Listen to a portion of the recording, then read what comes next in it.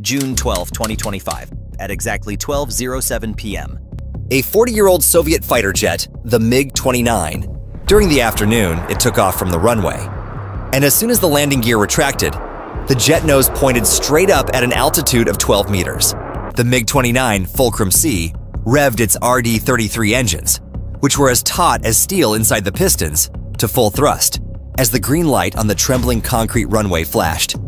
The two GBU-62 JDAM-ER missiles bolted to the underside of the wings shifted, and the fighter jet burst into the sky, slicing through the air. The MiG-29 was loaded with all its ammunition, flying low toward Kherson and taking great risks for secrecy.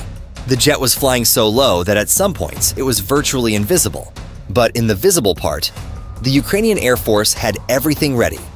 The targets had been identified, and they were just waiting for the moment when the bombs would explode in Kherson. The rough outline of the operation seemed simple. The target line was only 67 kilometers away from the MiG's takeoff line.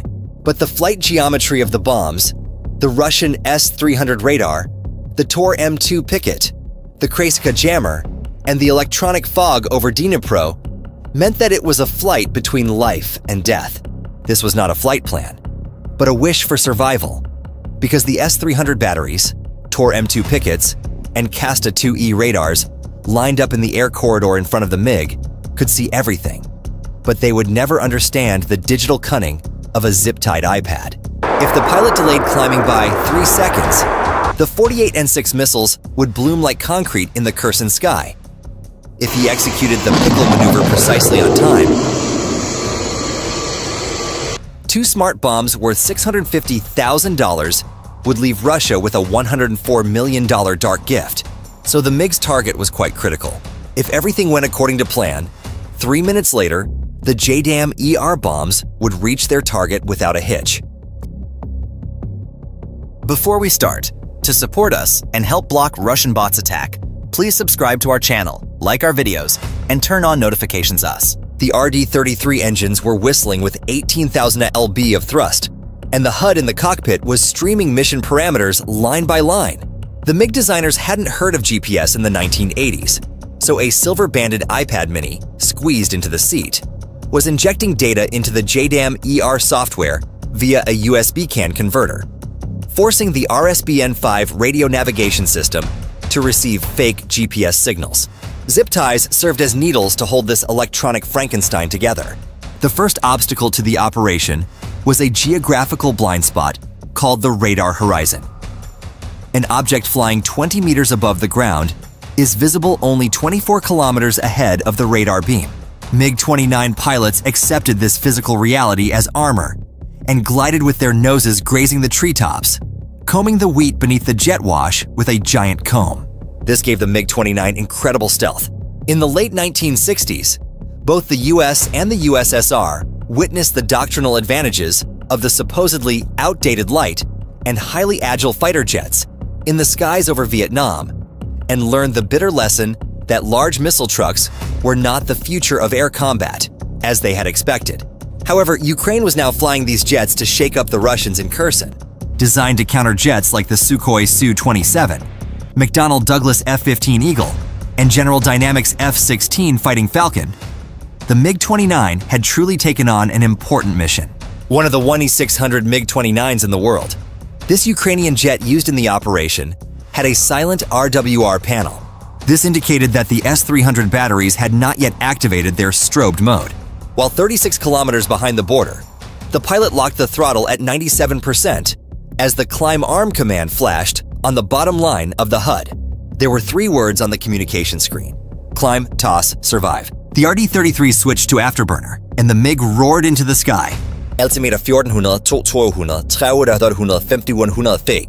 G-force reached 6.4. The edge of the visor was shrouded in darkness, but his finger found the pickle button. The wing under bracket rang with a thud. Two JDAM ER munitions were released like birds, opening their folding carbon wings. It switched from ballistic mode to glider mode and began to glide above the horizon line like two olive green streaks of M81.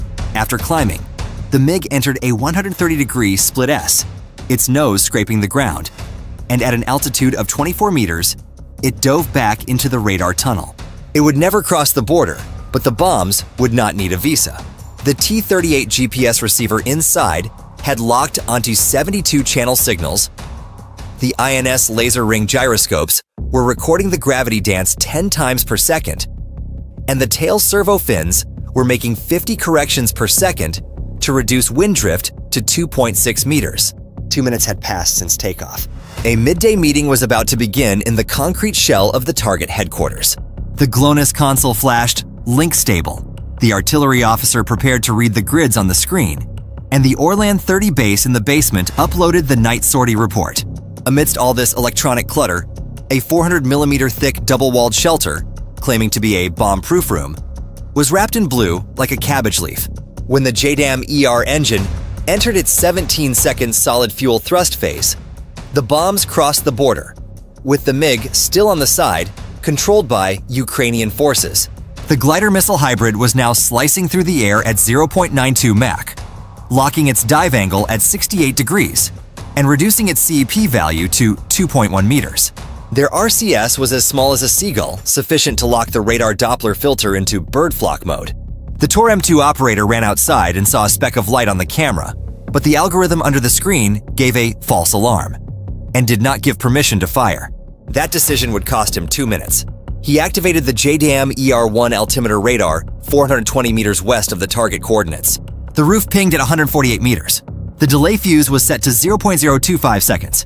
The penetrator at the tip sliced through the galvanized sheet like thin paper, pierced the concrete slab, shattered the massive basement ceiling, and the 87 kilogauss PBXN 109 detonated with a flash of white light.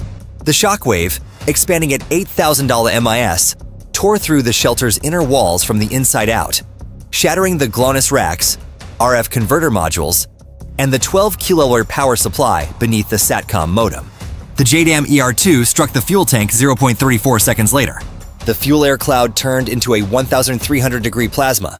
A fire hose spun beneath the concrete floor, and the secondary explosion dragged the BMP 2M ammunition into the flames. The Tor M2's radar cable burned like a fuse. The electronic jamming modules of the Avtobaza M truck melted like liquid tin. Despite boasting a bomb-proof designation, the shelter's walls swelled and burst like unlabeled tin cans when internal pressure exceeded 200 psi.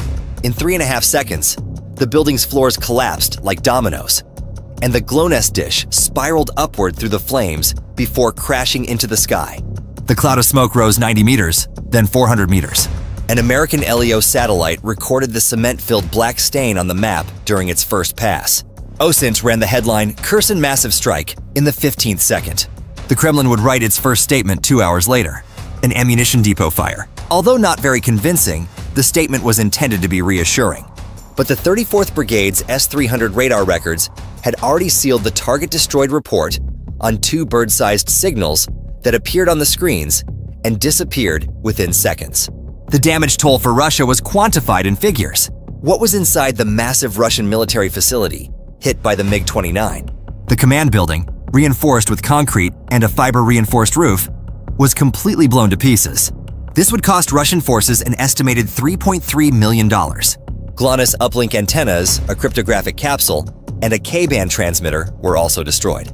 The total cost of these items is close to $1.8 million. It is claimed that two Tor M2 systems were also eliminated. The value of these systems is at least $52 million. Four BMP-2M vehicles were also destroyed in the Russian military complex, hit by the MiG-29. These vehicles are worth a total of $12 million. The cost of the Avtobaza M electronic warfare truck is $18 million.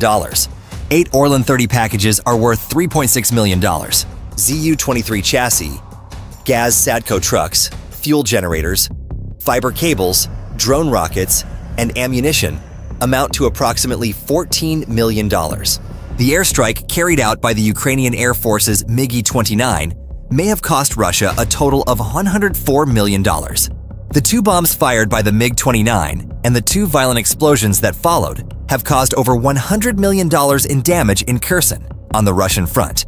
This was likely beyond the estimation of the Ukrainian Air Force, which carried out the operation.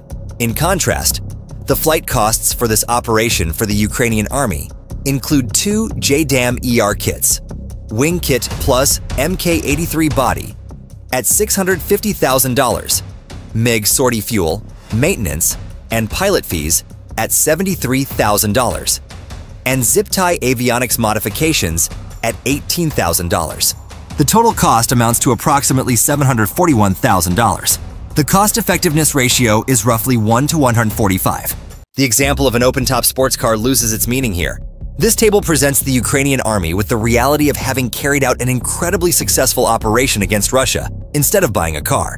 When the MiG touched the runway with its parachute brakes, it was not even 1 p.m. It is claimed that the operation lasted a total of 9 minutes and 52 seconds, with the actual destruction taking 3.5 seconds. Soviet steel, French guidance, American satellite constellations, and Ukrainian band clamp intelligence ignored the borderlines, reducing the front line's nerve network to ashes, along with a command center worth $104 million. The only sound the S-300 operator heard was the echo of nothingness. And now the question turns to a different direction. If a MiG-29, two JDAM ERs, a zip-tied iPad, and the pilot's courage can illuminate a midday moment in three seconds like the sun at a right angle, what old rules of war can stand? The radar's response is silence. The map's response is a black spot. The satellite's response is melting steel. How do you interpret this equation? Share your thoughts in the comments, subscribe to the channel, and please hit the like button. Because by the time the next send command is given, a new column of smoke may already be rising into the sky. Stay tuned to not miss it. Thank you for watching.